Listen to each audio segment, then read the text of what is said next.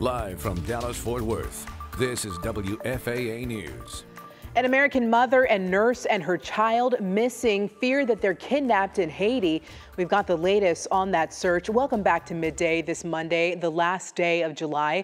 I'm Cleo Green. There is an urgent search underway right now for the missing New Hampshire woman and her young daughter.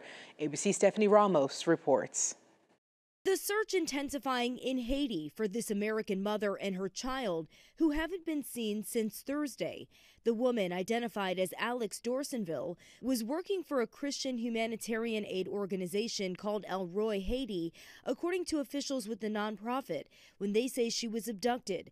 The morning of the reported kidnapping, they say she was serving in a community ministry near the capital of Port au Prince. In this promotional video, Dorsainvil is seen discussing her work. Kids from the school will get permission from their teachers and they send them over and come to the nurse's office and then I check them out. The U.S. State Department confirming agency officials are aware of the kidnapping reports, telling ABC News we are in regular contact with Haitian authorities and will continue to work with them and our U.S. government interagency partners.